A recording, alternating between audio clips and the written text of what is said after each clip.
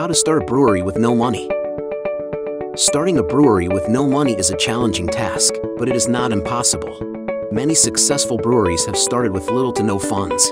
They have grown to become profitable businesses over time.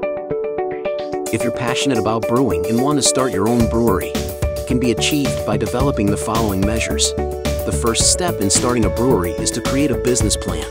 A business plan outlines your goals, target market, competition, and financial projections. It will also help you identify potential investors, partners, or loans. Next, finding a location for your brewery is critical. You will need a space that is large enough to accommodate your brewing equipment. Look for an affordable location that has enough space for your needs.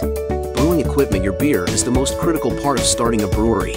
You will need to invest in brewing equipment, which can be expensive, but you can find used equipment online or from local breweries that have closed down. Partnering with others in the industry can help you reduce costs and build a stronger business. You can collaborate with other breweries, restaurants, or bars to share equipment or marketing costs.